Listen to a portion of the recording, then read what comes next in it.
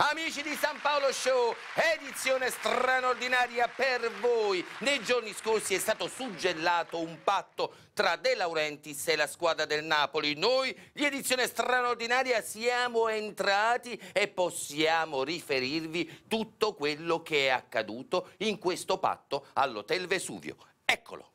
Accomodatevi, prendete posto. Eh, ci siamo tutti? Siamo tutti quanti giocatori titolari, allenatore, mister, no, no, no, niente cameriere, non cominciamo a chiamare cameriere, non siamo qua per mangiare, eh no, è Benitez, eh, se magna, eh, mi dispiace, no. E, eh, Higuain, Bono, che stai a mangiare ancora? Non ti bastano i gol che ti sei magnato contro il Dnipro, oh caro Higuain detto Pipita? Eh. Allora, siamo qua per un altro motivo, vi voglio parlare.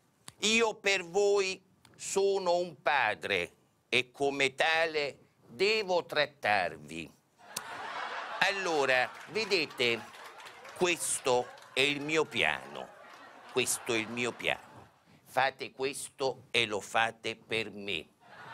Io che volevo alzare il calice della vittoria e brindare per poi andare in Champions, questa cosa mi è stata negata per colpa vostra. Allora vi voglio dire questo.